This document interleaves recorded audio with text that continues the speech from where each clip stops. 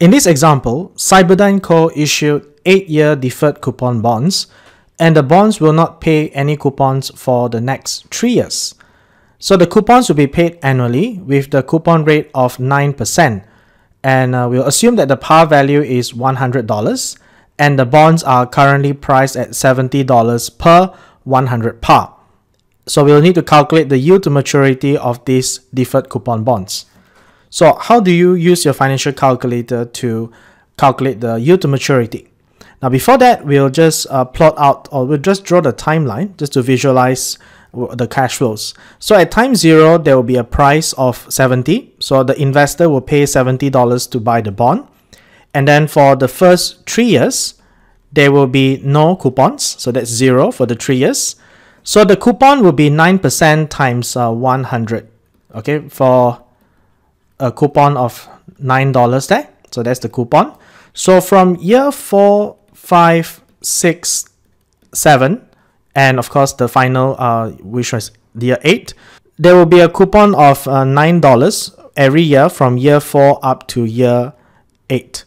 Okay, and at year 8, when the bond uh, matures, okay, or expires, then the there will be a payout of the par value, which is $100. Okay, so they will plus another 800 there. So we'll use the financial calculator to input the cash flows.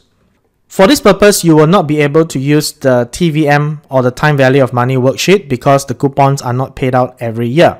So we'll make use of the cash flow worksheet. So you will uh, press CF. So your CF0 here will be the cash flow at time zero, which is negative 70 and then we click enter and then for C01 the cash flow here will be 0 okay? And uh, and the frequency will be 3 since uh, it's 0 for 3 years. So just F01 is 3 here.